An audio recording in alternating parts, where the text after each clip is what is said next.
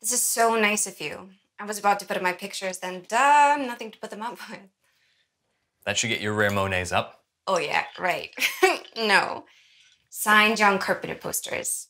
Halloween, a thing. Big Trouble in Little China? Uh, duh, that's my favorite. That's over the couch. You a fan? More like a worshiper. so when do you want to get married? Steady, Tiger. Let's try a date first. Or we could just, um, wait here for a little while. See, what, happens. Dum dum. Dum dum. Dum dum.